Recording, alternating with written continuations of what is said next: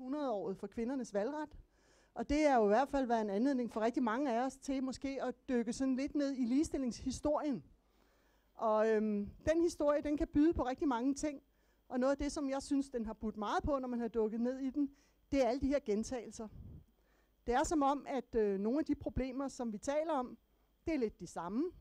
Og nogle af de argumenter, vi bruger, når vi diskuterer problemerne, det er også lidt det samme. Og det har i hvert fald fået mig til at tænke over, at der måske er noget helt grundlæggende galt med den måde, som vi diskuterer ligestilling på. Det bliver øh, nok noget af det, vi kommer til at snakke om den næste times tid. Det håber jeg i hvert fald. Og det er jo også noget af det, den film, som LO og FTF i samarbejde har produceret, handler om. Den handler nemlig om de her myter, og hvordan vi bruger de myter til at genfortælle en historie, hvor vi måske hellere skulle gå i gang med at fortælle en anden. Så øhm, lige for at komme i gang, så øhm, kunne jeg måske starte med at sige, at øh, her har vi øh, Werner Petersen fra Socialpædagogerne, så har vi Birgitte Conradsen fra BUPL, så har vi Lise Færbing fra Djøf, så har vi Marianne Vind, der står og gemmer sig hernede foran for HK, så har vi Gunvar Vibro fra Socialdemokraterne, velkommen. Så har vi Ingrid Stage fra Dansk Magisterforening, Nina Gros fra, Djø, øh, fra Kvinfo, Lars Kvistgaard fra Djøf, og sidst men ikke mindst, Dorte Stenberg fra DSR, Dansk Sygeplejeråd. Det er panelet. Men øh, vi har også lidt brug for at have nogen, der kunne styre debatten her. Øh, og der har vi øh, kigget ud for at finde nogle kvalificerede ligestillingsdebattører, og har valgt øh, Rasmus Botoft, øh, som står herover som den ene ordstyrer, og så har vi valgt øh, Lisbeth Wulf til at hjælpe Rasmus med at styre debatten. Så nu får du mikrofonen, Lisbeth, og så er det din tur til at styre. Værsgo. Tak fordi I kom.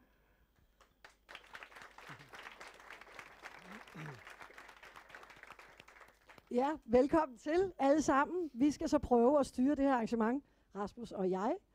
Og øh, udover det, så spiller vi også med i nogle små sketches, som I skal se. Øh, jeg vil sige, det er måske ikke sketches, det er måske i virkeligheden små gyserfilm. Forstået på den måde, at jeg synes faktisk, at vi er ret onde. Altså, vi spiller to meget onde forældre. Vil du ikke give mig ret i det, Rasmus Botoft? Ah, jeg synes, ikke, jeg, jeg synes ikke, de er onde. Jeg synes faktisk, de er meget søde og normale. Øh, og det vil I øh, opdage lige om lidt. Men jeg vil lige øh, fortælle om panelet her, fordi som I kan se, så er Lars jo den eneste mand. Og han er her kun, fordi det ville være pinligt, hvis der kun var kvinder. Så øh, Lars ved en masse om biler og teknik, men øh, interesserer sig ikke for ligestilling. Men det pynter ligesom, at, øh, at han er her. Så er det dejligt at se, at der er mødt mænd op. Øh, det frygtede lidt, at der kun ville komme kvinder, men der sidder jo øh, Amager Mandegruppe hernede i hjørnet, som kæmper for ligestilling på Amager. Men øh, der var to mænd på vej ind øh, i, i restauranten før, og så spurgte de en fra panelet her, hvad, hvad, hvad skal der foregå herinde? Og så sagde vi, der er forestår en debat om ligestilling. Så sagde de, fy for helvede. Og så øh, gik de ned i havnen. men, øh, men det er jo nok et problem, at mænd ikke interesserer sig så meget for ligestilling.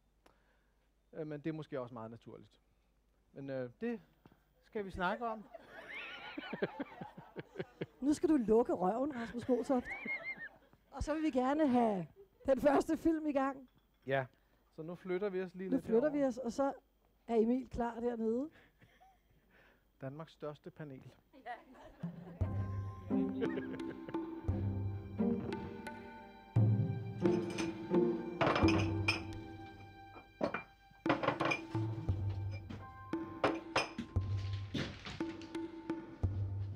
få vores penge nu? I har begge to ryddet op på jeres værelser og støvsuget stuen, Har I vasket bilen? Luftet hunden? slået græsset, tømt opvaskemaskinen. Altså, vi har gjort alt det, I bad om. Godt. Og hvad var det, vi aftalte? 100, ikke? Jo. jo. Værsgo. Føles det ikke godt at tjene sine egne penge? Giver en dejlig følelse af stolthed. At man skal yde, før man kan nyde. Jeg har gjort det rigtig godt, mor. Hov, vel lidt. Øh, hvad gav jeg det lige der? 100, ligesom Nora. Det skal du ikke have. Det går ikke. Nej, vi skal lige have 7 kroner tilbage. Kom, aflever. Hvorfor det? Hvorfor det? Fordi du er en pige. Det kan du lige så godt lære nu. Kom, aflever 7 kroner. Vi gør da bare en tjeneste. Sådan er det i den virkelige verden. Seriøst. Vi har altså lavet lige meget. Ja, yeah. Men sådan, sådan er det bare.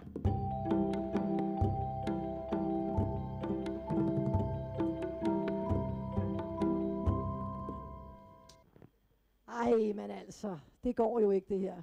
Vel, Marianne Vind. Nej, det gør HK. det ikke. Hvordan står det til? Det står ret Lunden. skidt til. Det er, har ikke flyttet sig i ufattelig mange år.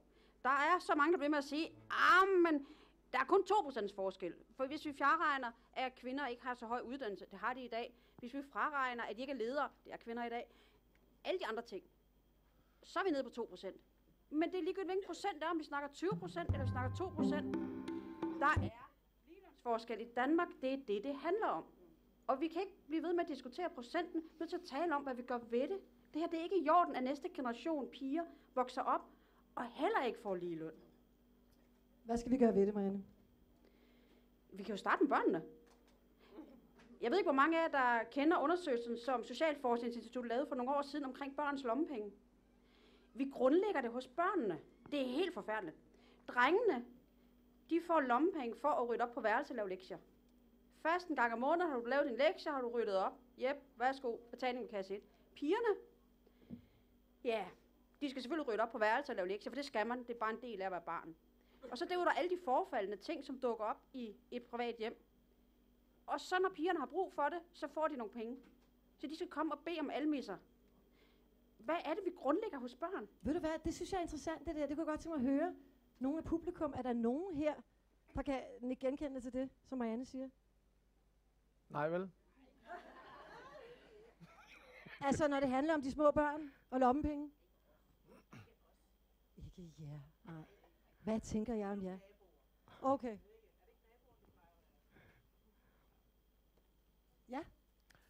Jamen, jeg tænker, at, at nu siger ikke os, nej, ikke os, men i virkeligheden er det jo noget af det, som der tit er i forhold til ligestilling, både i forhold til ligeløn, men jo også i forhold til, hvordan det er, at vi opdrager vores drenge og piger, i forhold til, hvad piger kan og ikke kan, og drenge kan og ikke kan. Øh, og når, at vi har de her fordomme, som jo ikke, vi ikke altid selv er bevidst omkring. Det er jo ikke fordi, at, at man er, er ond, som i filmen her, øh, at man ikke vil give lige muligheder. Men det er nogle ting, der ligger inde i os, og derfor er det også tit svært at få øje på. Og det er jo det samme også, når det er, at man rekrutterer. Øh, det er jo ikke fordi, at de store danske virksomheder tænker, at vi gider ikke øh, have nogle kvinder, kvinder er ikke lige så dygtige, eller når vi har folkemøde, og vi har dobbelt så mange mænd, ikke i det her panel, men, øh, men øh, her diskuterer vi jo også ligestilling. Øh, men i alle de andre paneler har vi dobbelt så mange mænd på programmet, som vi har kvinder. Så er det jo ikke fordi, man tænker, at de der kvinder er ikke så interessante, vi skal sgu ikke have nogen af dem. Men det er jo fordi, at vi har nogle, stadigvæk har nogle forestillinger om, hvad er en god debattør. Øh, vi kender- har også en liste øh, af dem, vi plejer at vælge, som, øh, som, som plejer at være meget gode, og de ligner også os selv. Så de her ting er jo, øh, kan man sige, nogle gange lidt usynlige og gemmer sig for os, fordi de er helt inde, øh, helt inde i os. Og Werner? Jamen, jeg kom bare lige til øh, det, du siger med, at... Øh, altså, nu siger vi, nej, det, det foregår ikke hos os. Lige for lidt siden, der havde vi et arrangement hos Socialpædagogerne hernede, i, hernede foran, øh, og øh, der skulle der debatteres investeringsfonde og økonomi, og altså, der var tre mænd i panelet, og kun tre mænd. Og ordstyren var selvfølgelig også en mand. Altså, det, det ligger, det er, det er noget, vi også selv kommer til, selv os, der, der taler om ligestilling, og os, der synes, at, at det er vigtigt, at man får lige løn for lige arbejde. Jeg, øh, jeg tænker også, der ligger også, øh, der er også noget af det der med, at vi ikke på samme måde anerkender øh, omsorgsfagene, som vi anerkender de mere hårde fag, altså byggefag, tekniske fag, en diplomingeniør, som har en, en uddannelse, der er på samme længde som en socialpædagog, får faktisk øh, 100 kroner mere i timen. Øh, fordi han arbejder med infrastruktur og byggesager, og socialpædagoger arbejder med mennesker og har menneskers skæbner i deres hænder hver dag. Det synes jeg bare er død uretfærdigt og provokerende. Og min pointe var netop, at, at også os, det er os alle sammen, som har de her, øh, kan man sige, blinde punkter i forhold til vores kvalitetsbegreb. Det er os alle sammen, der har de her fordomme inde i os. Øh, hvis man skulle tage den en, en, en, en lige en tur videre, så, så øh, lavede politikken for et par uger siden en ny unge-analyse, hvor de var ude og spørge både piger og drenge til, når, øh, når øh, du engang bliver gift eller får et øh, fast parforhold, øh, som jo er øh, lykkemålet for os alle sammen, hvem forventer du så øh, egentlig skal øh, tage opvasken? Øh, hvem forventer du øh, skal øh, hente ungerne, og hvem skal lave mad? Og det, som var ekstremt interessant her, det var, at øh, 30 procent af både pigerne og drengene De forventede, at når de engang blev gift, så var det sgu nok øh, konen, der øh, tog øh, den primære tørn i forhold til øh, rengøring og tøjvask osv. Så, videre. så det er jo sådan, kan man sige, en, en, en add-on til det her, som jo også godt viser, at, at forandring kommer ikke af sig selv. Nogle gange går vi rundt og tror, at ligestilling er sådan en lineær proces, hvor vi hele tiden, nu fik vi stemmeret for 100 år siden, og så går vi nok den rigtige vej. Men de her, kan man sige, analyser viser jo, at nej, det kommer ikke af sig selv. Øh, og står vi stille, jamen, så går vi tilbage. Jeg er helt enig, og jeg tænker, jamen det starter jo langt, langt tidligere. For det første, så har vi jo ikke, kan man sige, lige muligheder i forhold til barsel. Øh, mænd skal have meget mere barsel, og det er vi jo sådan set, tror jeg, alle, der står her, meget enige i. Øh, det, det er jo noget, der sådan, det skal der lovgives omkring. Problemet er bare også, at selvom mændene faktisk jo har adgang til mere barsel, end de nogensinde har haft, så har vi kvinder jo rigtig svært ved at slippe det der. Ikke? Altså, så nogle gange skal vi jo også kigge indad. Og noget andet, jeg tænker på, jamen, hvordan gør vi med lommepenge og alt det der. Vi synes jo alle sammen, at vi, er, vi gør det lige. Men børn fra de helt små oplever, at det er mor, der går hjemme på barsel. De oplever, når de kommer i dagpleje, så er det en kvinde. De oplever, når de kommer i vuggestue, så er der måske, hvis de er heldige, en halv mand. Ikke? Altså, på den måde, at der jo ikke er mænd i ret mange der er vuggestuer, og derfor siger jeg en halv, ikke fordi jeg mener, at det går halve min rundt. Altså, de oplever hele tiden, fra de helt små, at omsorgsarbejde, det er kvinder. Og, og det kan jo ikke undre os, at, eller det kan jo ikke undre os, at, at øh, det er den, når opdragelsen er, eller når det er de møder, jamen så er det også den opfattelse, de får af verden. Og vi synes jo i BUPL, at det er et kæmpe problem. Altså nu har vi et stigende antal af mænd, der søger ind på pædagoguddannelsen. Vi er oppe på 30 procent, og det er jo ikke nær nok. Men de mænd, der så bliver uddannet pædagoger, de arbejder på klub, SFO, eller søger ind i forhold til mere socialpædagogisk arbejde med voksne handicap og, og sådan nogle ting. Der er kun 2,3 procent af mændene, der arbejder med børn til 0-2 år. Og, det, og så længe det er det, så er det det, børnene ser, det er det, de unge ser, men det har også en betydning i forhold til ansættelsen af vores fag, i forhold til løn, øh, og det er ikke kun overenskomstens parter, der kan løse det her. Der er simpelthen nødt til at, at komme nogle landspolitikere på banen, og ikke kun tale om ligestillingen og sådan i fest i lag, men faktisk også handle og gøre noget ved det. Og nu kommer der lige en politiker her, fordi Gunvar har bedt om ordet. Og det kan vi lige nå, inden vi skal videre til den næste ja. film nemlig. Og så er det, jeg kan jo ikke lige lade være med at komme ind på det, så er der jo det der med den der barsel. Ikke? Den får del med skyld for meget, og blandt andet bliver den jo også beskyldt for, at det er en af årsagerne til, at der ikke er ligeløn mellem mænd og kvinder. Det vi skal huske på, det er, at en barsel er i bedste fald et år ud af et arbejdsliv, der måske er 45 år. Så vi, kan ikke, vi tør rigtig meget af, blandt andet forskel på, at mænd og kvinder får forskellig løn, ikke får lige løn. Det tør vi også af på barsen, og det, det passer altså ikke. Det holder ikke. Det bliver jeg simpelthen nødt til at gå ned og svare på. Nu er der gang i debatten. Men Lisa ordet som det sidste. Vi giver lige Lisa ordet som det sidste inden vi skal se. Nå, det er mig. Det er mig. Ingrid, undskyld. Ingrid, det er simpelthen ikke rigtigt. også for mig. Godt, undskyld. Ingrid, du får ordet. ja. Nå, men grund til, at jeg før vil sige noget, det var faktisk, hvis det er sådan, at det er os selv, der, der også har svært ved at lave om på det, så er det jo, politikerne skal gå i forvejen. Og de kunne jo pænt have gået i forvejen med at få og, og, og, og beslutte øremærket barsel til mænd. For det er altså det, der betyder noget. Og jeg sad i en kommission, der beviste, at det var det, der betød noget. Hvad gjorde regeringen? Den lukkede for det den dag, vi skulle offentliggøre resultaterne. Det kan man altså ikke tale sig fra. Og det er barslen, der gør det. Det er den, der spiller ind på livet. Fordi man bliver sat udenfor i, kar- i karrieren. Fordi at man ikke får øh, alle øh, øh, øh, samtalerne om lønforhøjelse og tillæg. Man bliver sat bagud, også selvom barslen højst er på et år. Og det har vi rigtig meget videnskabelig forskning ja, efterhånden ja. også, der simpelthen dokumenterer. Ja. Og det er en af grundene til, at jeg har er gået helt hørnet ind på at sige, at guldet omkring ligestilling, det ligger i overloven til fædrene. Ja. Ja. Og det var så Ingrid, der sagde noget. Vi skal videre til den næste film. Jeg ved, at Lars er helt uenig i alt, hvad der er blevet sagt her. Lars er aldrig uenig. Han kan ikke. Men du får ikke ordet, Lars. Vi skal videre til den næste film. Er I klar dernede? Så dukker vi os lige her.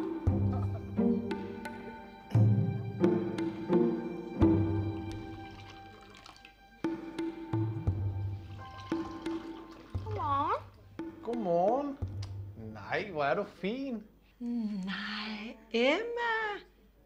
Du vinder dig for årets bedste udklædning. Det er helt genialt, det der. Jamen, det er helt genialt. Hvad skal Nora klædes ud som?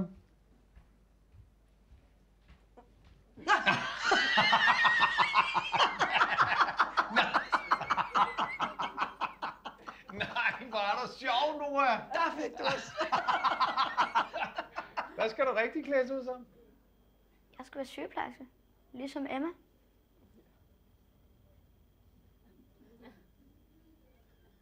Men så skal du ikke, skal du ikke klædes ud som, som noget, der er lidt mere sejt? Jeg synes, det her er sejt. Jamen, men hvad med Superman?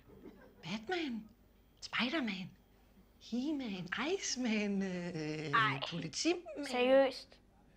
Altså, der, der er nogen, som har lidt svært ved, ved drenge i, i, i sygeplejetøj. Altså, drenge, der vil være i servicefagene eller omsorgs... Der, der, kan du ikke lige... Jo, altså, der er mange, der synes, det er mærkeligt, hvis drenge de bliver sygeplejersker. Så derfor så er det måske en, en, en meget god idé at... Øh, Ja, og hvis du klæder dig ud som noget lidt mere normalt. Det er også for din egen skyld. ja, ja, vi gør dig faktisk en tjeneste, Nora. Du vil da gerne passe ind. Det er jo fuldstændig latterligt. Ja. Sådan, Sådan er det bare. Ja,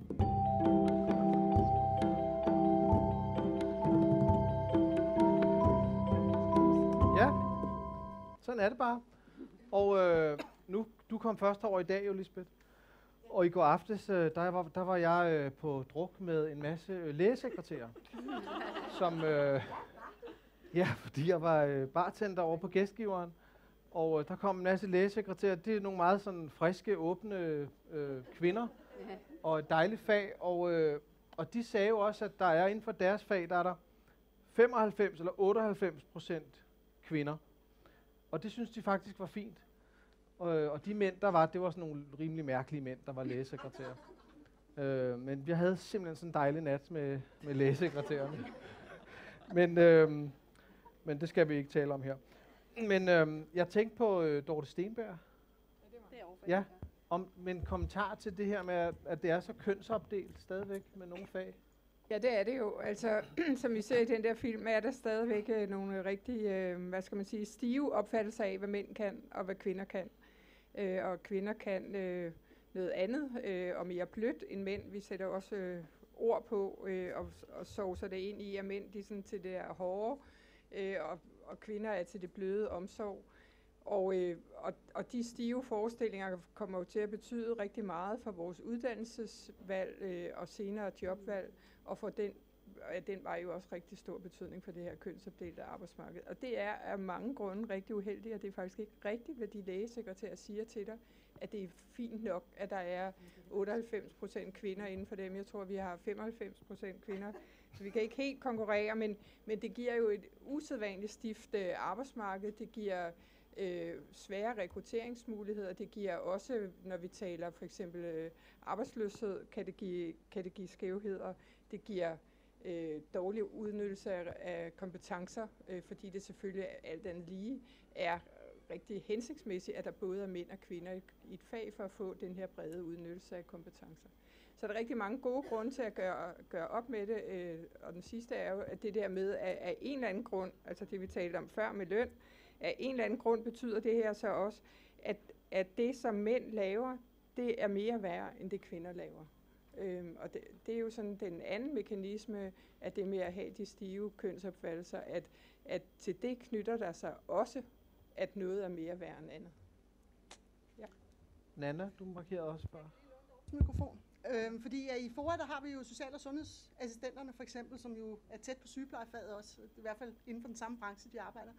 Og der har vi på et tidspunkt øh, haft en kønsforsker inde hos os, som øh, lavede en Ph.D. inde i FOA. Og noget af det, han fandt ud af, det var også, at det også var fordi, at mændene faktisk ikke havde lyst til at gå ud og arbejde til den lave løn, der er på området.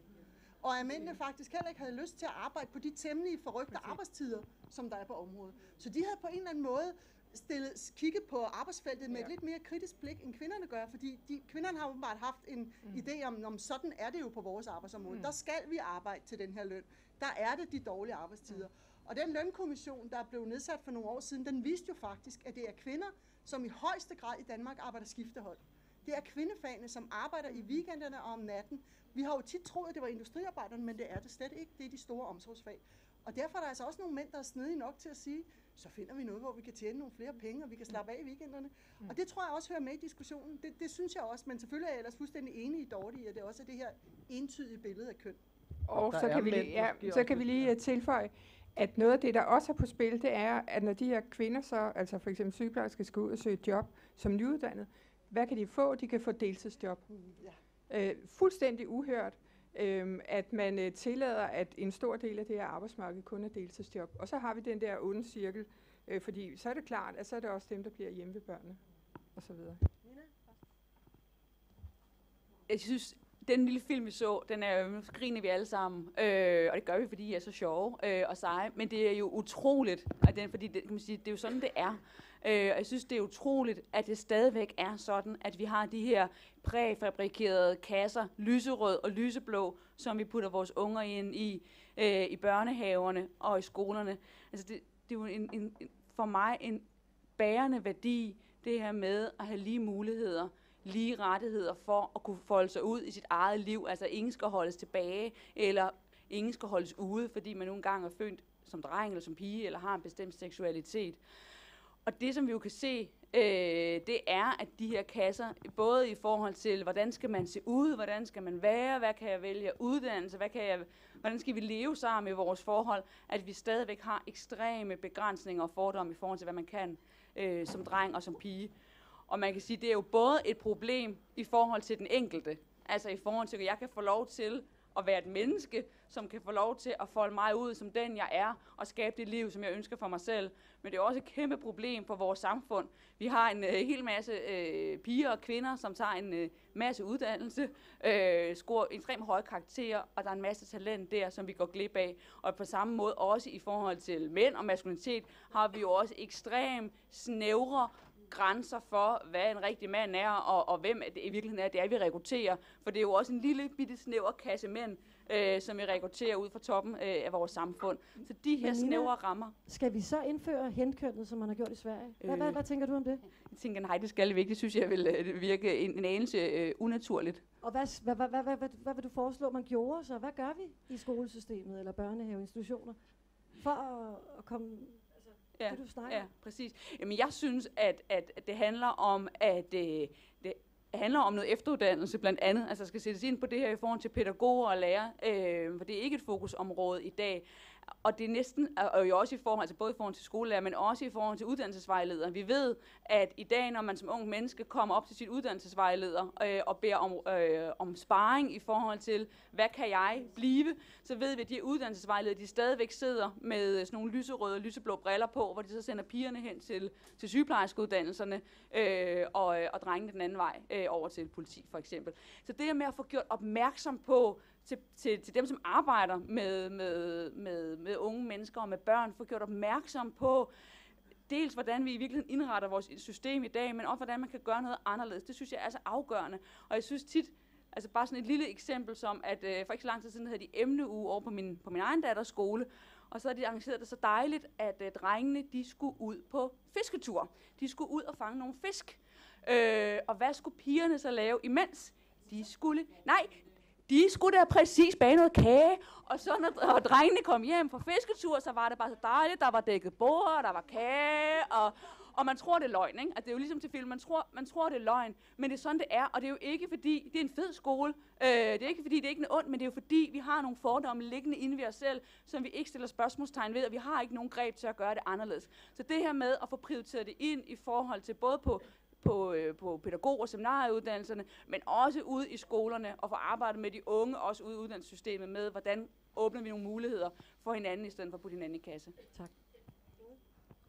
Jeg vil bare, jeg har det, en, øh, du skal lige trykke på den. Ja, en, en, en ekstra absurditet er, at, at ved, ved, ved, det, ved, ved det øh, kendskærning, at det faktisk virker som om, at det mænd laver er mere værd, end det kvinder laver, at når så kvinderne kommer ind på det, der har været et mandefag, så bliver der pludselig stor bekymring om, at nu begynder øh, øh, lønnen at falde. Altså lægerne er bekymrede, fordi det er kvinder, der kommer ind der, men bliver bekymrede over, at nu falder lønnen sikkert, fordi det er kvinder, der kommer ind. Så det er altså ikke bare faget, det er faktisk kønnet, der åbenbart betyder noget. Det er da en absurditet.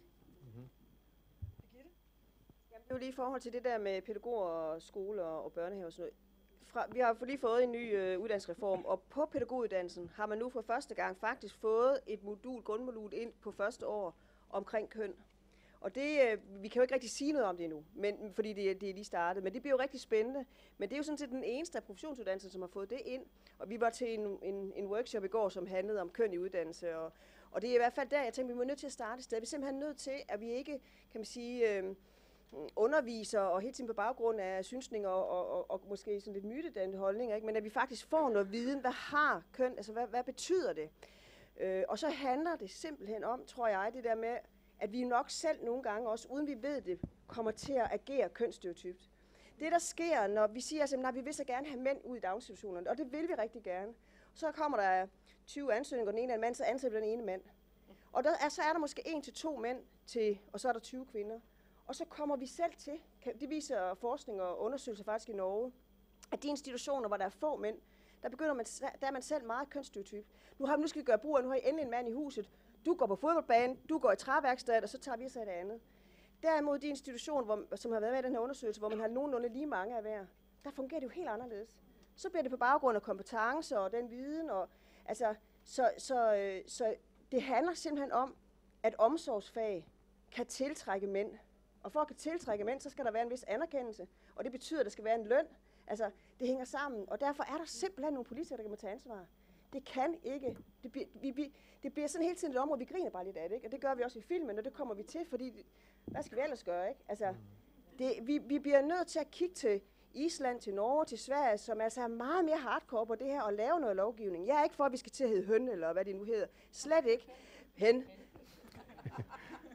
Det var ikke så heldigt. Men, men jeg er meget for, at vi, at vi ikke bare bliver ved med at tale om det her. At vi ikke står om 100 år igen, så vi taler de 100 år en gang til. Altså, vi, der, der er simpelthen nødt til at ske nogle forandringer, og det er handling, det, det der må være til. Ikke? Tak, Birgitte. Marianne, det er din tur. Jeg hørte faktisk her for nylig omkring den børnehave i Sverige, der har indført hen. De har måttet ansætte en vagtmand. Det er kun én børnehave, det hele handler om. De har måttet ansætte en vagtmand for at holde voldsforbrydere ude, der vil overfalde dem. På, altså, det siger lidt om, Nå. hvor er vi henne lige nu. øh, men det, jeg vil sige, det er, jeg tror måske, at vi skal starte et andet sted, fordi vi har alle argumenterne for, hvad vi kunne gøre, og hvad er årsagen af tingene, til tingene. Men det hele, det handler jo om, at der er en grundlæggende holdning i Danmark. Der er en tro i Danmark på, at vi har ligestilling. Og så længe det er den fundamentale tro i Danmark, vi har ligestilling, så kan vi ikke, så kan vi ikke finde nogle løsninger. Det er helt umuligt at få øje på det.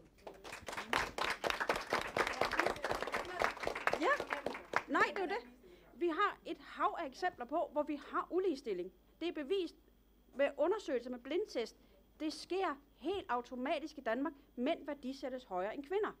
Om man laver total blindtest til audition til symfoniorkester med skærm foran, kvinderne kommer ind 50-50, hvis, det ikke, hvis kønnet er skjult. Men sandelig ikke 50-50, hvis kønnet er synligt. Jeg kommer fra det private arbejdsmarked, HK. Der er mænd og kvinder på kontorerne. Det er ikke to forskellige grupper, øh, hvor vi snakker tømmer og sygeplejersker eller noget andet. Det er på samme kontor. Vi har ligelønsproblemer på samme kontor. Og ved I hvad? De her kvinder, de synes, det er så pinligt. De kunne ikke finde på at lægge en, nu er der ikke arbejdsgiver herinde, vel? De kunne ikke finde på at lægge en sag an, fordi det er så pinligt at være udsat for ulige løn. Og hvis arbejdsgiverne, det er jo ikke onde arbejdsgiver det her, det er jo ikke onde ledere, der har ansat sådan helt bevidst, nu ansætter jeg hende til en lavere løn. For ved I hvad? Så var der ikke nogen ledige kvinder, så havde de alle jobbene, og mændene var ledige, hvis vi kunne ansætte kvinder billigere. Så ville det jo fungere sådan. Men det er jo ikke sådan, det fungerer. Det er jo bare en par automatik. Der er en kvindelig ansøger, og så ligegyldigt om det er en leder, en mand eller en kvinde, så starter man bare med en lavere løn til hende. Kvinder værdisættes lavere. Det bliver vi nødt til at arbejde med. Tak. Så giver jeg lige ordet til Værne, og så til Gunvor, og så til dig, Nina, og så ser vi en film til. Værsgo. Jamen det er fordi, jeg, jeg er jo helt meget enig i det, der er sagt, men jeg tænker også bare, at vi har et fælles problem. Mm. Altså, vi har et fælles problem, som vi ikke kan løse kun ved lovgivningen, kun ved overenskomsten, eller kun ved at få et, øh, et kønsmodul ind i, i uddannelsen, øh, der hvor vi arbejder med børn. Men, men vi har altså bare et fælles problem, og det er også derfor, det er rigtig vigtigt, at mænd får nogle rettigheder til barsel. Nogle, nogle, nogle uh, rettigheder, som ligner kvinders. Øhm, for, fordi jeg tror, det, det, det kan, og det er det, vi, vi også snakker det kan blive afgørende, det kan få afgørende betydning for, hvordan vi også, øh, hvordan vi også ser på, på os selv og vores køn og husarbejde og alt muligt, for det har jo bare en historisk, øh, en historisk, øh, hvad skal man sige, det har, det har rødder i historien. Mm. Altså, det er sådan, og det har det været lige fra start af, at øh, far går på arbejde og får løn, og mor arbejder hjemme og bliver ikke betalt for det. Sådan har det været, og det, det, det er altså også det, der er ved at komme til at ske nogle steder i nogle grupper. Altså, øh, det, folk nogle steder i Nordsjælland har jeg i hvert fald hørt om, der begynder øh, kvinderne og, øh, og gerne vil, øh, vil øh, droppe ud af arbejdsmarkedet og passe børnene og, og gå hjem og hygge og få, få livet til at hænge sammen, og så kan far tjene pengene. Og, øh, og øh, ja, så det start, jeg synes, vi har et fælles problem, og derfor synes jeg, at den med lovgivningen, den er rigtig vigtig også. Godt. Gunvar? Grønne.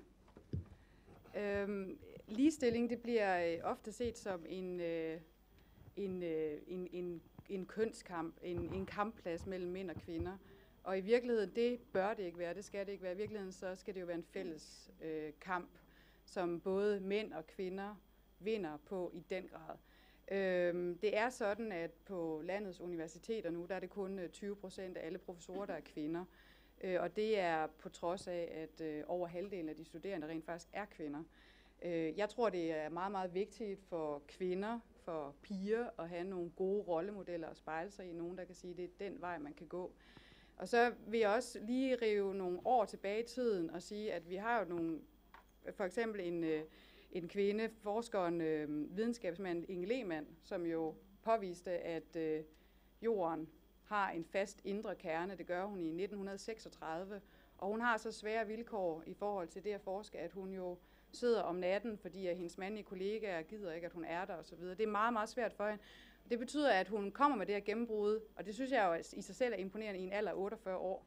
Og jeg tænker, det er jo ikke, øh, det kunne jo være, hvis hun havde haft de rigtige vilkår, øh, så var det geni, som hun jo var, havde måske blomstret, øh, da hun var 24 år. Øh, hun var så sådan en, der blev ved med at blomstre, indtil hun var, jeg tror hun døde, da hun var 104 og skrev sin sidste afhandling, da hun var 99 år. Så hun var helt sikkert helt øh, un, en unik person. Men det, det handler om for mig, det er, at vi skal prøve at skubbe alle de potentialer og gøre, vi kan, for vi har simpelthen ikke råd til andet. Det her, det handler om ressourcer. Øh, det handler om et samfund, der skal hænge sammen. Og det er i øh, min interesse, det er min mands interesse, det er min sønners interesse, det er i vores allesammens interesse, mænd og kvinder, at vi skubber afsted. Det er altså en fælles kamp, det her. Øh, og der vil jeg også sige, at der kan man jo, der er nogle mekanismer, man kan skrive, skubbe lidt på. Øh, jeg ved, at Jytte Hilden i 90'erne jo skubbede lidt på, da hun var forskningsminister, og blandt andet sådan en øh, astronom, øh, også videnskabskvinde, Anja Andersen, øh, jo øh, har blomstret på baggrund. Det er der slet ingen tvivl om, at, at hun har lavet store resultater. Men det er jo sådan noget, som er sket på baggrund af, at der er blevet skubbet lidt til det fra politisk hold. Så som sagt, altså for mig at se, øh, og det er sådan lidt for at trække det hele lidt ned på jorden, det her det handler om potentialer. Det handler om, at vi skal løfte alle sammen, og at vi alle sammen får mest ud af det, at kvinderne øh, øh kan komme afsted, og også mændene kan komme afsted. Så det er altså en fælles kamp, det her. Og Nina, du får ordet, og så skal vi se en film til. Jamen, det er jeg enig med dig i. Øh, jeg synes, det er lidt interessant. Nu er vi jo midt i den her 100-års fejring for, at kvinder fik stemme og valgret og vi diskuterer det her omkring, at, at det ikke kommer af sig selv. Hvis man lige tager et blik på historien, så troede vi jo, øh, efter vi fik, jeg, jeg troede ikke, for jeg var ikke født, men dem, der kæmpede dengang for stemmeretten, troede, godt, nu har vi den her formelle ret, nu kan vi stemme og stille op, så kommer forandringen.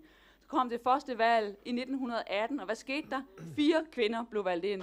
Svarer sådan cirka til 3 procent. En kæmpe skuffelse, at det der med den, forel, den formelle ret ikke var den reelle ret. Det tog 70 år, før vi fik 30 procent kvinder i Folketinget. Det tog 40 år, før vi fik en kvindelig borgmester, og det tog 96 år, før vi fik en kvindelig statsminister. Og det viser jo meget godt det her med, at det her det tager, det er en supertanker, vi er ude at vende. Det er altså så nedgravet, kan man sige, i vores kultur, og det er så vanskeligt. Ved det her folketingsvalg, som vi står overfor øh, på torsdag, der har vi for første gang siden 50'erne færre kvinder på stemmesedlerne, øh, end vi havde ved det foregående valg. Det synes jeg er virkelig interessant, også i det her med, at vi snakker omkring, om det kan godt være, det går langsomt, men det kommer vel derhen af.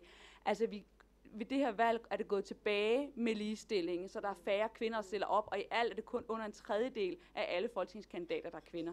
Det synes jeg bør være et kæmpe wake-up call til samtlige danske partier omkring at gå ind og arbejde med det her. Tak.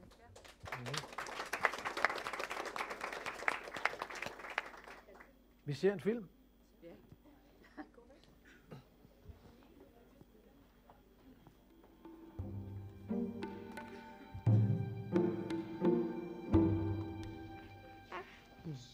Hvorfor er det egentlig altid dig, der er hjemme med hende? Hvem skulle det ellers være? Far? Far? Nej, det kan far ikke finde ud af. Nej, det kan han ikke. Mor er den bedste, ikke også? Ja, det er hun, Jette. Ja, det er hun. Ja. Og den flotteste. Ja, det er hun. Det er da strengt. Men det er da alligevel også far, der tjener mest. Ja, det er det. Når jeg får et barn, får jeg så heller ikke lov til at være sammen med det? Jo, jo, selvfølgelig gør du det. To uger sammen med din kone. Jeg gider ikke gå derhjemme. Selvfølgelig gør du da det. Det ligger i naturen. Altså, kvinden går hjemme det første år. Sådan er det bare, ikke? Emma, kan du lige skifte hende? Jeg vil gerne. Nora, Nora, lad lige være. No- Nora, ikke også? Nora. Altså, Emma er en pige, ikke også? Ja. Du gider da heller ikke at få babylort på dine drengefingre, vel? Ja, vi gør da faktisk en tjeneste. Sådan er det også ude i den virkelige verden. Ja.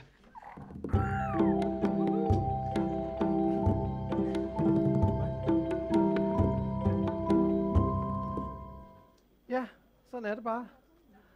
Og indtil videre, der har jeg været enig i alt, hvad du har sagt, Lars. Som manden i panelet her. Men det er jo måske udtryk for det, der nogle gange sker som mand, når man er omgivet af så mange stærke kvinder, som vi er heroppe. Så, øh, så bliver man bange og tavs. Men, øhm, men Lars, fortæl os lidt om øh, biler og... Biler, ja. ja. Biler ved jeg faktisk ikke så forfærdeligt meget om. øh, det må jeg så ærlig indrømme. Hvad hedder det?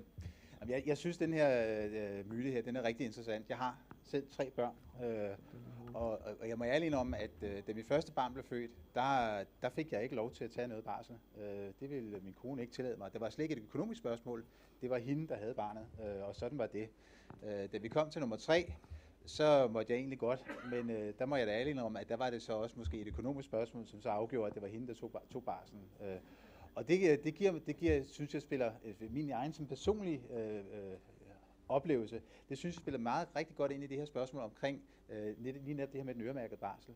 At, øh, hvad hedder det, det kan godt være, selv, selv hvis man sagde, at øh, det her, der var deling, og det, og det økonomien ikke nødvendigvis var det, der var afgørende, at så har vi altså alligevel stadigvæk nogle fordomme, som gør på en eller anden måde, at, øh, at øh, så er det bare ikke faren, der, der stiller sig op og siger, at øh, nu, skal, nu skal jeg have det, eller også får han, får, får han, ikke, får han ikke lov. Så hvad hedder det? Jeg tror, jeg tror, jeg tror at en af de udfordringer, som vi, vi har på det her område, øh, og hvis jeg også lige må sige, for jeg prøvede faktisk at komme til ord før i forhold til det her med, med, med øh, den det foregående, jamen så, så har vi altså også de her selvforstærkende idéer omkring jamen både hvad er kønsrollerne, og hvad er det for nogle, hvad er det for nogle, øh, nogle, nogle, nogle positioner, vi har, både i familielivet, men også i arbejdslivet. Jeg synes, øh, jeg synes selvfølgelig, det er bekymrende af omsorgsjobbene, at der ikke er så mange mænd, men jeg synes lige på for sig, at det er endnu mere bekymrende, at vi har så kønsopdelt et arbejdsmarked. Altså, at, at vi på en eller anden måde, og det kan jeg se på, øh, også på min egen datter derhjemme, øh, Øh, og jeg synes ikke, jeg nødvendigvis, og det kan jo godt være, at jeg ubevidst gør det, øh, antyder, at hun skal være offentlig ansat, fordi det er jeg selv, men, men, men, men, men, men jeg synes, det, det, er, det er bekymrende, at vi på en eller anden måde præger vores, vores, øh, vores børn, uanset om det er drenge eller piger, til, at de skal søge inden for forskellige sektorer, fordi det tror jeg i den grad også er med til at forstærke både den her øh, adgang til også at tage øh, tage barsel, denne adgang til at få en større grad af, af, af, af lige løn, fordi der er bare nogle forskellige vilkår i de forskellige sektorer.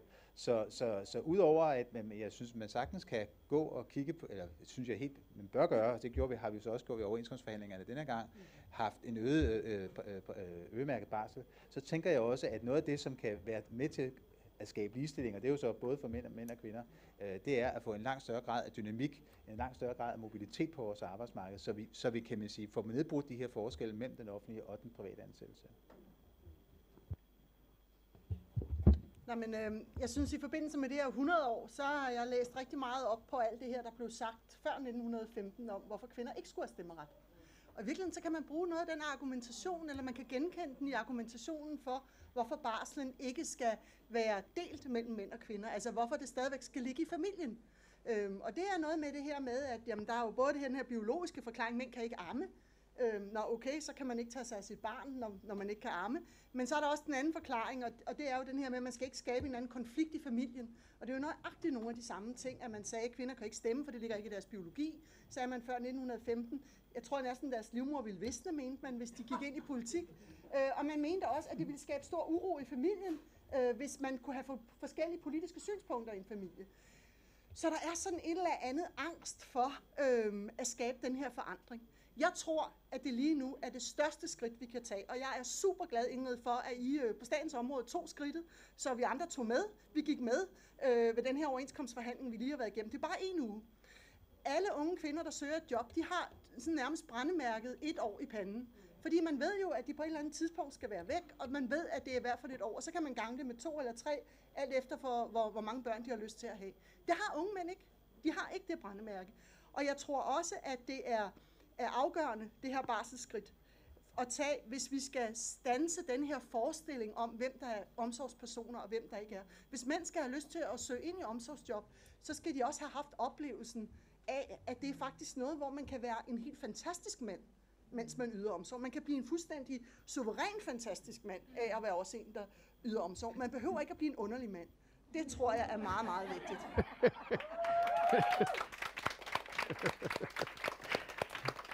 Så er det Ingrid. Har, har du? Husk at, at trykke her. Øhm, men det, det, det går jo tilbage til i virkeligheden der, hvor vi startede. Øh, det, der er noget med kulturen, men der er altså der er noget med kulturen hos øh, arbejdsgiverne, at, øh, at de, skal, de ikke skal synes, at det er sådan i hvert fald karriere øh, underminerende, hvis det er sådan, man som mand vil gå øh, tage en, en, en længere varende barsel. Øh, men, men der, og, og så er det den der kultur hos kvinderne selv, og der, det er der, at vi er nødt til, selvfølgelig kan vi gøre noget, men det er også der, vi er nødt til at have politikerne med på banen. Fordi det var fint med den der ekstra uge. Men det, der rigtig batter noget, det er jo, hvis det går fra kvinderne. Mm. Altså, det, det er vi bare nødt til at sige, den skal deles. Det er godt, når man kan få noget oveni, men den skal deles, for kvinderne kommer altså bagud i løn, og hvis, hvis det er sådan, at, øh, at, at de tager den lange barsel. Det er jo det, som Nana øh, lige har, har sagt. Så det skal vi være opmærksomme på. Men så vil jeg bare lige sige, hvis forholdene er i orden, så vil mændene altså godt tage barsel. Vores medlemmer, det er bare at sige, de må, er måske på, med, hos nogle mere fornuftige arbejdsgiver, eller også så er de bare fornuftige helt generelt. Men det er altså omkring altså, 30 procent... Mænd, mænd er generelt fornuftige. Ja. Magistermænd. Magistermænd. Jamen, jeg, jeg er 30 procent af vores øh, med, øh, mandlige medlemmer, som gerne tager den lange barsel. Det gør de faktisk, men der skal, der skal mere til. Men det, er, det er meget sjovt, det der med magistermænd. For da jeg sad i den der lige, øh, den kommission der, hvor vi skulle finde frem, barselskommissionen, ikke? så sagde jeg det her til Mette Frederiksen. Det passer ikke, at mændene ikke vil tage barsel. Det skal bare være nogle ordentlige vilkår. Så sagde hun, jeres mænd, de er altså ikke normale. Så skal vi have Gunvor på banen. Kan, hvad, hvad siger du til det her, Gunvor? Kæmper mig lige vej. Ja. to seje kvinder. Øh, min øh, søn Storm, han spurgte mig, som er øh, 10 år, øh, 11 år, han øh, spurgte mig her for et par uger siden, øh, eller sagde til mig, øh, mor, vil du ikke øh, garantere, vil du ikke uh, sikre, at når det er sådan, jeg engang bliver voksen for børn, at jeg også kan tage en masse barsel? Det sagde han faktisk. Og jeg sagde, at det, jeg skal gøre, hvad jeg kan fra min side af. Så uh, den er i hvert fald, nu er det sagt offentligt, og så vil jeg gøre, hvad jeg kan. Men sagen er den, at det, øh, det starter jo i virkeligheden ved at sige, at det her, det handler, altså øh, ligestilling handler jo om begge sider. Det handler om mænd og kvinder. Og det handler, jeg ser det, er helt enig med, det handler også om, at kvinder kan give noget af den her barsel fra sig. Fordi det, der er vigtigt, det, det, det, i debatten er det jo kommet til at lyde, det er noget, man vil presse ned i halsen på de her stakkels mænd, der jo helst vil være fri for det. Og sagen er den, sådan er det jo ikke. Der er rigtig, rigtig mange mænd, der rigtig gerne vil det her, fordi at være på barsel, jeg har selv været på to gange barsel, og det var fantastisk, og der blev drukket en masse kaffe, og blev gået, gik, gået en masse lange ture. Øh, det skal mænd altså også have lov til at prøve, og det er et dejligt øh, afbræk at være sammen med sit barn. Øh, så derfor så er det vigtigt, at mænd kan tage det, og har mulighed for at tage det, og kvinderne kan give det. Og at de så også skal have nogle ordentlige vilkår, når det, øh, det står på. Jeg synes også, at barselsdebatten hænger meget sammen med, hvordan vi ser på vores familiepolitik generelt. Fordi det er også sådan, at øh, vi er sådan i en multimedietid, hvor børnene bombarderes med, de er jo nærmest fra de er øh, 6, 7, 8 år, så kan de jo nærmest være på nettet non-stop, være på Instagram, Twitter, og nogen får sågar lov til at være på Facebook, før de fylder et eller andet øh, 10 år. Øh, og, og vi ved ikke, hvordan det kommer til at, øh, hvordan det kommer til at påvirke vores, vores unge. Vi er faktisk i en helt ny tid, og vi nu viser alle os kloge mennesker, der her rundt omkring. Min pointe er bare, at det mere vores unger kan have haft en mor om sig, og haft en far om sig, der har været nærværende og stærk i deres allertidligste år, des bedre tror jeg, de er stillet til at blive nogle små, øh, stærke mennesker, når det er sådan, at de både i deres barndom, men også når de bliver voksne. Så det her, det tror jeg, igen vil jeg lidt holde fast i, den der snusfornuft, det er altså sund fornuft, god logik. Det handler om at få nogle potentialer i spil, at øh, vi får fordelt øh, den her barsel mere øh, ligeligt mellem mænd og kvinder. Mænd skal altså også have ligestilling inden for det her område. De skal ligestilles. Jeg siger flere barselsrettigheder til far. Ja, tak. Så er det Marianne. Jamen, alle har jo sagt, at vi skal have delt den her barselsårlov. På det private arbejdsmarked, der er det meget få på øh, kontorområdet, der har en skalaløn, som man har mange steder det offentlige stadigvæk. En eller anden form, hvor man stiger fast i løn hvert år. Det gør man ikke på det private arbejdsmarked, der skal man selv forhandle. Det betyder det år, hvor en kvinde er gravid og skal til lønforhandling. Jamen, du er jo gravid, du skal være fraværende til næste år, så får du ikke lønforhold. Nej, okay, det er også i orden. Det, det ved jeg godt. Og når man er hjemme på barsel, ej, så går man ikke til lønforhandling. Der hedder den 0 igen. Og året efter, du har lige været væk et helt år, har du så tænkt, der skal lønforhold? Nej, nej, selvfølgelig skal det ikke. Det er undskyld, det tænker jeg slet ikke på. Det er tre år per barn, per kvinde, og det er jo de unge år, at man bliver sat tre år tilbage med løn i lønstigning, eller en meget, meget lille lønstigning. Det er hammerende ulovligt. Men det sker igen og igen og igen. Og ingen kvinder, de reagerer på det, fordi jamen, jeg har jo heller ikke været der, og det er da også rigtigt. Jeg har jo ikke ydet noget på arbejdspladsen. Jeg vil sådan, nu kan jeg få lyst til at ryste dem. Fordi det er en værdi at føde børn. Det er en værdi for vores samfund, at der er nogle kvinder, der vælger at få børn. Tænk, hvis der ikke var nogen, der gjorde det. Og den fejl sker på alle private arbejdspladser. Kvinder, der bliver sat tilbage i løn, når de får børn. Så hvis vi deler det mellem mænd og kvinder, så betyder det også, at de unge mænd, der er mellem 25 og 35 år, bliver kigget skævt til hos arbejdsgiveren ved jobsamtalen. Ah, du har ikke nogen børn. Skal du have børn? Okay, du lyver måske. Jeg tror, vi ansætter en anden, der er over 35 og har fået tre børn. Unge kvinder har enormt svært ved at få job, hvis de ikke har fået børn. Det kan ikke være rigtigt, at det er kun unge kvinder, der bliver ramt af det. Man er to om at få børn.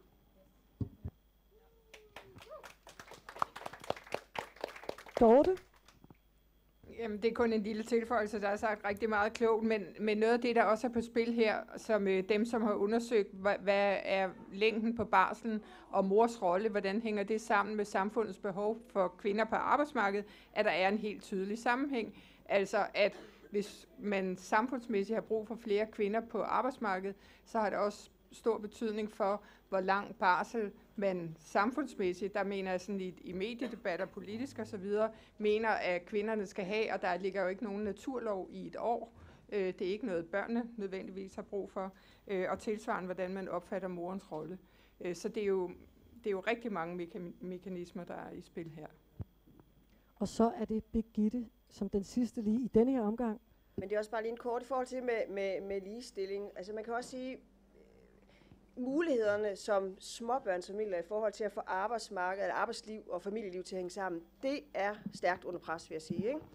Og, og det betyder, at, at, øh, at for man, og, og kan man sige, åbningstiderne i daginstitutionerne bliver sat ned, fordi normeringen bliver dårlig, og man skal spare. Så det er sådan en negativ spiral. Og det betyder, at, der, at man som børnefilm må se på, jamen er der en også, der går ned i tid? Og hvem er det, der går ned i tid? Jamen det er moren, øh, fordi det er hende, der tjener mindst. Øh, og hun, så optjener hun ikke det, som du sagde før, i forhold til, hun får ikke lønforhandling, hun får heller, altså, må barsel. Altså, der, hele den der negative spiral gør bare, at, at den økonomi, det økonomiske incitament, kan man sige, peger jo hele tiden i en retning. Øh, så, så jeg tænker også, at der er simpelthen så mange kvinder, der er ufrivillige på deltid. Det kan godt være, at når man spørger dem, at det har selv valgt. Men hvorfor har de valgt at gå på deltid? Det har de, fordi de simpelthen ikke får deres liv til at hænge sammen og det er dem, der tjener mindst, altså er det dem. Så jeg vil gerne sætte spørgsmålstegn, hvor meget frivillighed der er omkring det. Øh, og det tænker jeg også, det er altså et kæmpe problem, vi, vi også skal have, skal have styr på. Og mændene, de arbejder bare mere og mere, fordi nogen skal jo tjene nogle penge. Så det er jo heller ikke, altså urimeligheden går i virkeligheden begge veje. Tak. Så har vi lige et spørgsmål eller en kommentar fra publikum her. Jeg hedder Nils og jeg er sygeplejerske. Øh, Jeg har haft tre gange barselsårlov, to, to og tre måneder, og jeg er rigtig glad for det alt sammen. Tusind tak.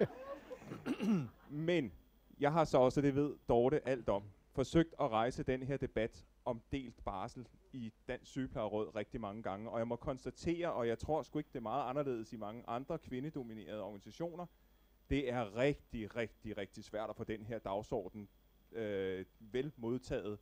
Og dermed tror jeg rent faktisk, at rigtig mange af mine kvindelige kolleger kommer til at være deres egne værste fjende, hvad angår ligestilling, fordi det er sådan nogle overordnede mekanismer. Hvad kan vi gøre for det som fagbevægelse? Det er, altså, det er os her, der kan starte med at gøre noget ved det, ved at tage debatten i egne organisationer. Og den er grim, og det gør ondt, og jeg har måske stadigvæk blå mærker, hist og pist. Men ja, det er vel også det, det med, at der er også, der er også nogle kvinder, der ikke vil afgive retten til den fulde barsel. Ikke? Men øh, det er også en hel debat i sig selv. Men nu skal vi se. Ja, ja, ja, ja. Men Ja. er der nogen øh, fra fagforeningen, der har lyst til lige at svare på det? Vi skal lige nå at se en Ja, men bare lige, lige svar. på det. pu- øh, Hvad var det, du sagde, du hed? Undskyld. Niels? Jamen altså, jeg tror, at billedet er det samme i BUPL. Altså, altså, jeg tror ikke, vi er ikke bange for, vi vil gerne rejse det. Vi rejser det sådan set, at vi, vi altså, som organisation er vi for øremærket barsel. Men hvis jeg gik ud og spurgte mine medlemmer, som jo er øh, 90 procent kvinder, ikke? så vil flertallet sikkert sige, jo, jeg synes, det er en god idé, at manden skal mere barsel, men det skal bare ikke tages for mig. Og, og, det kan, og det kan jeg jo godt forstå. Altså, det, jeg har da haft, jeg har haft tre barselsorlov, det var fedt, jeg elskede det. Men altså, hvis vi vil have ligestilling, så vil vi have ligestilling, og så går den jo begge veje. Og jeg kunne da godt tænke mig, at det var dobbelt op. Altså, det vil børn og alt muligt, det, det kunne man da godt. Men, men der tænker jeg, at det der lovgivning bliver nødvendigt. At her er det altså, i, vi er et land, som, som går ind for ligestilling, men også praktiserer det, og derfor skal barsen deles. Så må jeg sige en lille ting? Men Det er fordi, jeg synes altså også, at hele den diskussion, også i vores organisationer, som vi også har i Socialpædagogerne, den handler også om, at vi bliver nødt til også at ture mm. og, og snakke om, at, øh, at mænd betyder lige så meget for deres børn som kvinder. Altså det, det, kan, det kan vi virkelig godt nogle gange komme til at tro, at det ikke helt passer.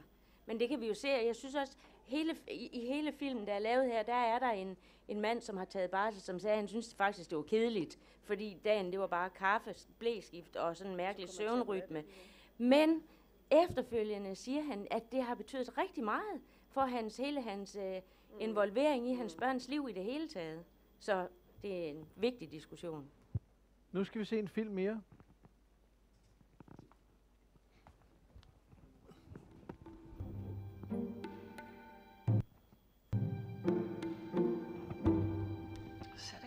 Og der er ni pus. Ja, og den ligger lige ned til vandet. Prøv at se. Der er havudsigt. Det er godt fundet, det der. Vi får lov til at vælge, hvor vi skal hen på sommerferie i år. Ja, hvor skal vi hen, chef? Du kan ikke bare... Jeg var lige i gang med at søge på Ja, noget. ja, ja. Men nu er Nora her jo, ikke? Vi kan da ikke bare tage den ud af hænderne på hende. Så Emma gider alligevel ikke at sidde der og bestemme det hele, vel? Nej, det er så kedeligt. Det synes jeg ikke. Nej, men det kommer du til. Hvorfor er det altså Nora, der får lov til at bestemme? Hvorfor? det var da det mærkeligste spørgsmål. Vi gør dig faktisk en tjeneste, lille skat. Sådan er det også i den virkelige verden. Ja, du burde faktisk sige tak. Det er da åndssvagt. Ja. Men Sådan er det bare.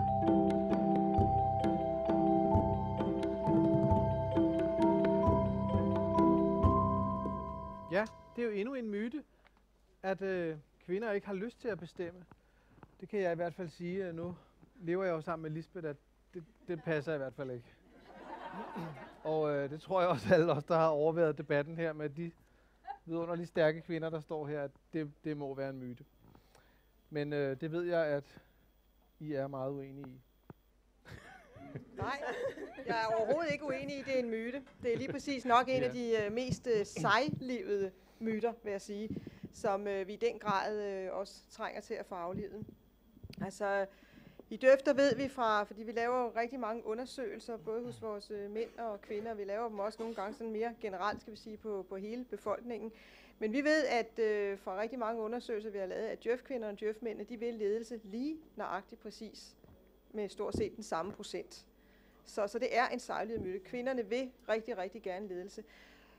Og fra også de undersøgelser, vi har lavet, der ved vi rent faktisk også, for der har vi spurgt omkring den øremærkede barsel og barsel, og der ved vi faktisk også for de undersøgelser, når vi taler på djøfmændenes vegne, jamen, øh, og det er Lars jo så et eksempel på, så vil djøfmændene lige så gerne øh, den øremærkede barsel, og ligesom at have, have del i den omsorg. Og det er faktisk det, de snakker om, hvis man interviewer og taler med dem, så er det det med at få øh, retten til også at kunne have omsorg for barnet og, og, og være lige i den. Så det er, den, det er ligestilling, mændene ønsker, når de siger, at de gerne vil have barsel. Så siger de så, at de gerne vil have den øremærkede barsel. Det vil sige, at de har simpelthen brug for at få noget, noget hjælp via lovgivningen, som vi har talt om, til at det her kommer ind, fordi det, det kommer ikke af sig selv. Øhm, så kvinderne vil rigtig gerne ledelse, og når vi får den der 2,5, altså det er to en gang, en halv gang så svært at, at blive leder som kvinde, jamen så er det også desværre noget, der ikke har rykket sig. Det har vi også lavet undersøgelser på i Djøf, at det, det har stået stille øh, i, i, i 10 år. Det, det rykker lidt, så har vi fået lidt flere kvinder i det offentlige, og det går også stadigvæk lidt bedre, og så fik vi lidt flere kvinder i det private, og så stagnerede det. Så det står, står fuldstændig stille, og, og kvinderne gerne vil. Så vi går, som også andre her har sagt øh, i, i panelet i dag, vi går virkelig, virkelig glip af et, øh, et enormt potentiale. Der er simpelthen øh, halvdelen af talentmassen, kan man næsten provokerende sige, øh, kommer ikke i spil til ledersposterne. Og det er bare ikke øh, i orden, og det er meget, meget, meget usundt for, for dansk økonomi. Det er sundt for væksten, det er sundt for væksten, som skal formidle den velfærd og det velfærdssamfund skal. Så det er en, op i et, et højere samfundsperspektiv, så er det her rigtig vigtigt, med det, at, at vi får afledt den her myte. Det er også vigtigt for, for den enkelte. Så har vi i Djøf øh, meget støttet øh, faktisk regeringen i, i den lovgivning, der kom om, øh, at da man gik væk fra koderne og sagde, nu skal vi have den danske model, de 1200 største danske virksomheder skal ligesom redegøre for, hvordan har de så tænkt sig, fordi de der mandlige bestyrelser og direktioner må ligesom have ligestilling ind på bordet, altså hvad vi gør ved det, nu, må, nu skal de sidde og diskutere det. Tag stilling til det, komme med nogle øh, forslag og skal beskrive deres politik, deres tal. De kunne sådan set sige, at de vil have nul kvinder i den, i den beskrivelse. Det er i orden sådan set, men, men de skal forholde sig til det.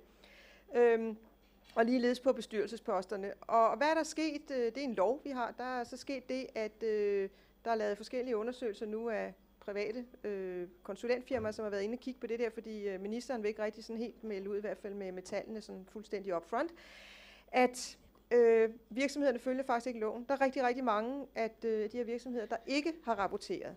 Og så er det bare, jeg tænker, hvis det her nu var skattelovgivning eller arbejdsmiljølovgivningen, og det er en lov uden konsekvenser, det ved jeg godt, men hvis det nu var en overtrædelse af skattelovgivningen og arbejdsmiljølovgivningen, må ikke der så var en eller anden myndighed, der greb ind.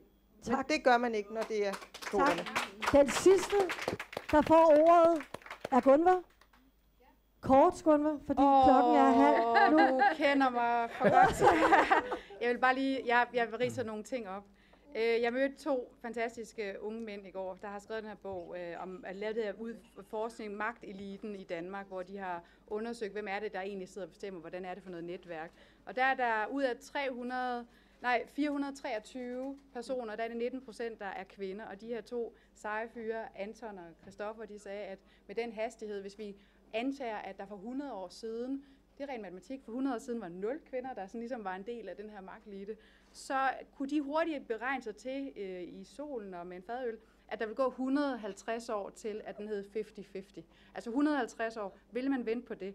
Den anden ting, det var, at der var en artikel i øh, Euroman her for et par gange siden, hvor en kendt dansk debattør, politisk øh, debattør, sagde, at det var efterhånden mere sædvanen en undtagelse, man så kvinder på topdirektionsgangene, top, blandt topdirektører. Og der tænker jeg, der bliver man nødt til at lave sådan en anden bullshit-test på det, og undersøge, at han får lov til at sige det. Fordi at tallene hedder, så senest jeg har set, det hedder 20 procent, og det er vist ikke mere sædvanen end undtagelsen. Så man skal... 5 procent. 5 procent. 5 procent 5 procent, jamen det er en, men igen, der skal man lige lave nogle, man skal lige undersøge, hvad det er, man slipper afsted med at sige. Øh, vores bestyrelser, altså er det hver tiende gang, at der skal udpeges, så bliver det en kvinde til, til, til, til, til topbestyrelser. Og der kan vi jo bare tage en, tage en, en, en, en fantastisk virksomhed som Koloplast frem, som blandt deres topledelser har 0 procent kvinder, deres mellemledelse 0% kvinder, og deres bestyrelse 0% kvinder. Og der er den fine anekdote, at grunden til, at Koloplast blev så store, øh, og rent faktisk blev den her kæmpe virksomhed, der fik succes, det var en kvinde, som hed Lise Sørensen, som opfandt den der stomipose. Så det var en kvinde, der ligger til grund for det. Jeg sagde det selv, universiteter, det er kun 20 procent af, øh, af, kvindelige, der er, af professoren, der er kvinder. Og til allersidst i mit felt, jeg sidder også og er øh, kommunalpolitiker, altså der kan man jo sige, at kommunalpolitik er det omkring øh, 30 procent øh, af kvinder, øh, og hvis man kigger på de her kolde tal, der hedder omkring blandt, altså som er topledelse blandt i kommunalpolitik borgmestre, blandt 98 borgmestre, så tror jeg, at tallet hedder, at det er 12 kvindelige borgmestre, vi har. Så det der med, at det er mere sædvanen, at man ser kvinder i, øh, i, i topposter, i den øverste ledelse, det tror jeg, vi skal udfordre sig, og det tror jeg, at vi alle sammen skal give en anden hånd på, når vi går herfra, at når der er nogen, der siger det, så lad os lige lave en lakmustest på det. Det var Gunvar, nu stopper jeg dig, fordi ja. at, øh, vi har også filmens producer her. Det her er jo et, de små klip, vi har set, er del af en, af en større debatfilm. Mm. Øhm, og vi vil gerne og, give ordet til Marlene ja. Flint Petersen. Jamen, jeg vil bare sige uh, tusind tak, fordi I kom, og så fik vi gjort en form for status over, hvordan det står til med kvindernes stemmeret, eller, og her 100 år efter kvindernes valgret. Og øhm, jeg synes, der er lang vej igen, og øh, det kommer ikke af sig selv. Det her, de her fire små sketches, I har set, det er jo en del af en længere film. Øhm, og øh, den film har vi finansieret med LO, FTF, Djøf og Dansk Registerforening. Vi har haft et skønt samarbejde. Det har været dejligt for mig at møde øh, alle disse vildt passionerede øh, mennesker, som har kæmpet for ligestilling i tusindvis af år, og som stadigvæk er passionerede omkring det. Måske ikke. Men mange år. Øhm, øh, filmene, både de fire små sketches og, og, og den, den der film, kommer til at ligge på organisationernes hjemmeside. De kommer også til at ligge på det, der hedder Filmcentralen. Så benyt det, øh, og, og ud i, i jeres liv, hvad I nu laver, om I er skolelærer, eller arbejder med organisation, eller ude i private, fordi så kan I sætte en god øh, debat i gang, der hvor I nu er, for det, det kræver det. Filmen er instrueret af Katrine Windfeldt, som var passioneret ligestillingsforkæmper, men desværre blev det hendes sidste film. Hun fik en underartet hjernesvulst, efter vi havde optaget den sidste scene. Og vi sagde farvel til hende den 13. februar i år, så det var rigtig trist. Men jeg ved, hun er hos os i dag, fordi øh, ud over ligestillingsdebatten, så, ville hun, så var en af de vigtigste grunde til, at hun ville lave filmen, det var, at hun bare ville på folkemøde. Vi skulle bare skaffe hende en seng, og så skulle hun skulle nok lave den film. Øh, og det var Katrine, der fik mine øjne op for, at der stadig er rigtig meget at kæmpe for i Danmark, og at det slet, slet ikke kommer af sig selv. Øh, jeg håber, at det har sat nogle tanker i gang hos jer, og spred budskabet og nyd folkemødet. Tak for i dag.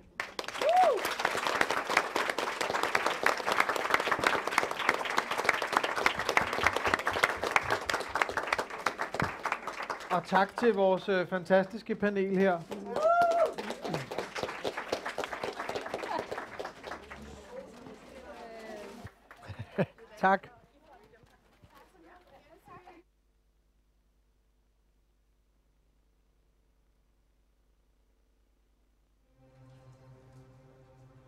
Du jobbet, hjælper HK's A-kasse dig inden for 24 timer. Med Quickstart får du sparring og adgang til Danmarks største jobdatabase. Derfor er 45 procent videre, før de overhovedet bliver ledige. Meld dig ind på hk.dk. HK A-kasse. Sammen er du stærk.